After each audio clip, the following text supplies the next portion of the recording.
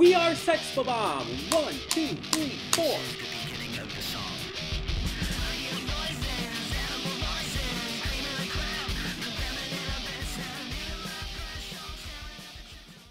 Hey everyone, welcome to Princess Gay. I'm your host Connie, and we are here with episode one of Scott Pilgrim Takes Off. This is a monumental series. This is a monumental achievement of a series because this is this should not exist. Think about it. This is an anime that is produced by Edgar Wright, who's behind the live action Scott Pilgrim movie. It has all of the same cast members from the live action movie returning, every single one. You have Mary Elizabeth Winstead, you have Michael Cera, you have Brandon Routh, you have Mae Whitman, you have everyone returning to to repri- reprise their roles that in some cases made a lot of them famous or at least more famous than they were before. Like, honestly, I did not know who Michael Cera was before Scott Pilgrim. But whenever I think of Michael Cera, that is the first role I think of now. And honestly, same with Mary Elizabeth Winstead. Although she's done obviously a lot of other things, um, easily the role I think of her for. And while there's some, like obviously Brandon Routh and uh, whatnot, who have been in a lot of other things and are known more for other things. Um, Mae Whitman, for example, I know her more as Katara from Avatar The Last Airbender or Amity from Owl House. Um, but Roxy Richter is still up there for me. Um, and always will be. The fact that this series was able to get Edgar Wright back, was able to get all of the same cast back is insanely monumental. It's such a big deal. It should not be possible, but it is. Um, and, and this series is the the art style is in the style of the comic. It's supposedly, from what I've heard, going to be more accurate to the comic. I've only seen the original teaser. I have not seen any other trailers for this because there's going to be some differences. And I don't want to be spoiled on what those are. Um, I, I, I don't want to be spoiled on like any of the any notable differences. Uh, because even though I've seen the movie, this is kind of a fresh experience for me. It's like watching the live action One Piece. Although I've seen One Piece many, many times, it's a different experience because it's being handled very differently. Obviously, big difference though here is that again, the original cast are all back. Um, plus, it's going from live action to animation instead of the other way around. Very, very different kind of vibes there. So, yeah, I'm very excited for this. I, have been really, really hyped for this. So, of course, the day it comes out, I'm not going to wait. Um, luckily, Adventure Time just happened to be finishing up uh, for season seven, so I'm able to just switch right into this, and yeah. Uh, like I said, very excited for this. Very excited to hear everyone back in their roles.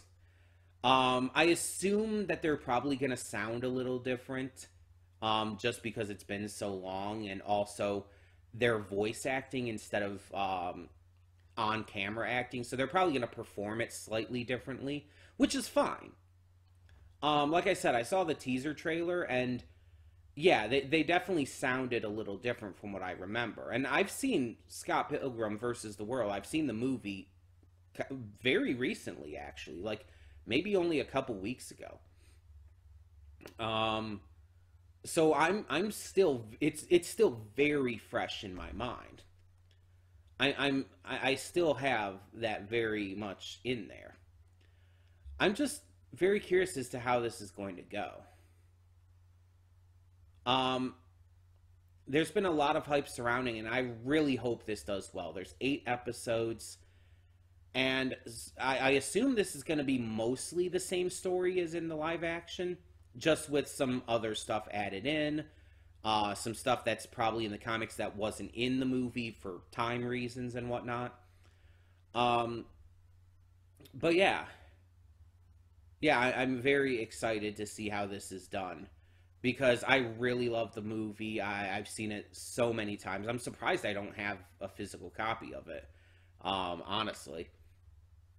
Um, and I'm only hoping that this can really live up to it. Now, I've seen most of the designs for the characters before because, you know, the comics have existed longer than the movie. I know what the characters look like in the comics. Um, so not much is going to really surprise me in that regard. Um, I'm going to like recognize most of the characters right away basically.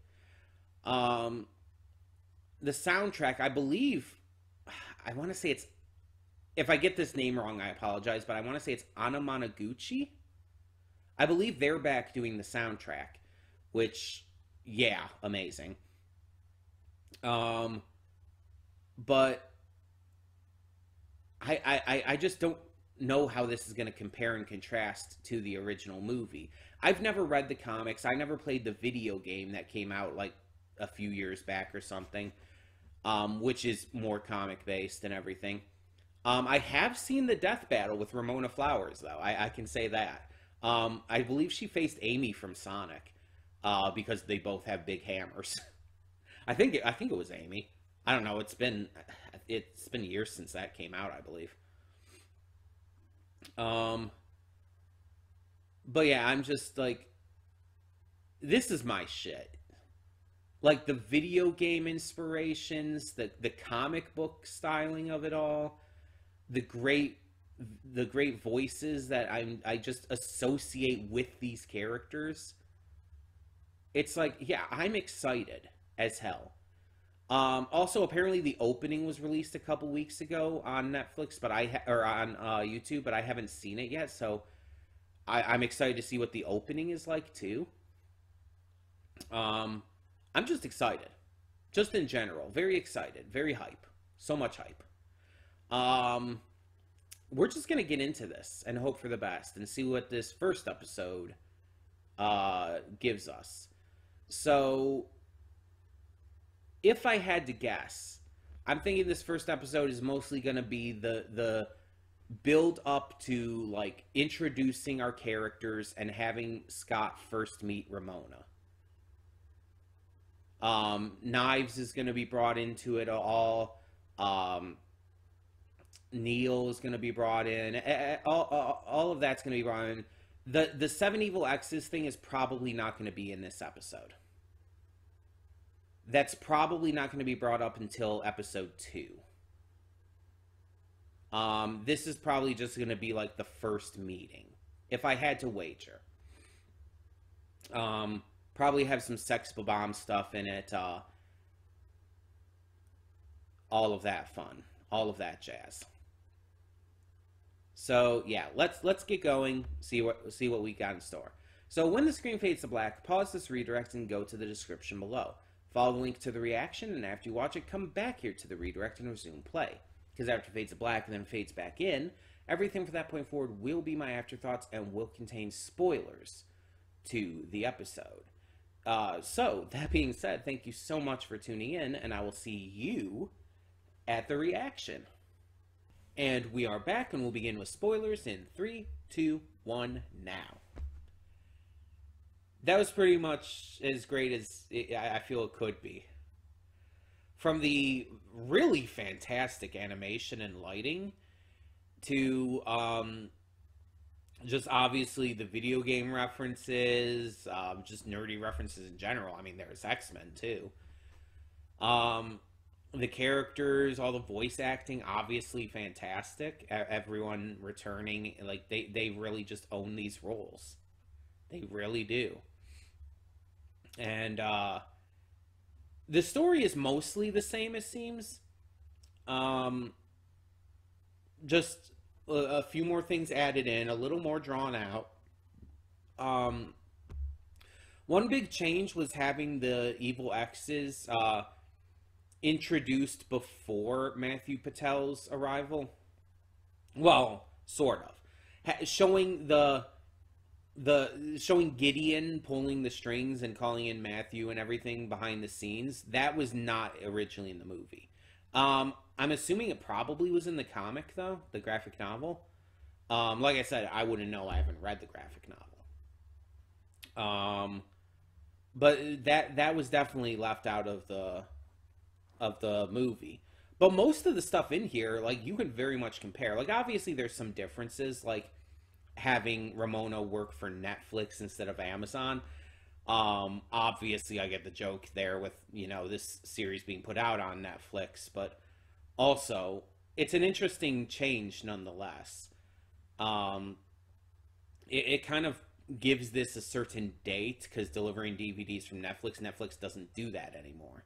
So it gives it a certain frame of date uh, for like, oh yeah, this is this takes place around this time period when Netflix did do that. Um, Amazon, like Amazon, could basically be any time. You could get packages delivered from Amazon for for any time period since Amazon started doing that, which is pretty much Amazon's entire thing from the beginning. So this this dates it more, but in a good way. It it doesn't feel dated like it, it, in a bad sense to where it's like, oh, this is unenjoyable or it feels out of place because of dating. No, it feels like this is meant to be dated to this time period and you understand that from this. Um the music is phenomenal. The music was phenomenal in the in the live action in the movie and it's phenomenal here. Um, it, it's just it's just so goddamn good. Um, like I said, um, I, I believe in the reaction, um, the music is oh, has always been one of the highlights of Scott Pilgrim for me. Like among everything else, the music is just it's so good. And I, I can understand some people not liking it because it's not maybe their type of music, the genre and style they tend to like but I, I have a very diverse taste in music. Like, I, I like music from pretty much every genre. Like, I'm not like just rock and roll or anything. I like rock. I like rap. I like country. I like metal. I like pop. I like a little bit of everything. As long as I just think the song is good, basically. Um, or in some cases, the artist, but mostly it's a song by song basis.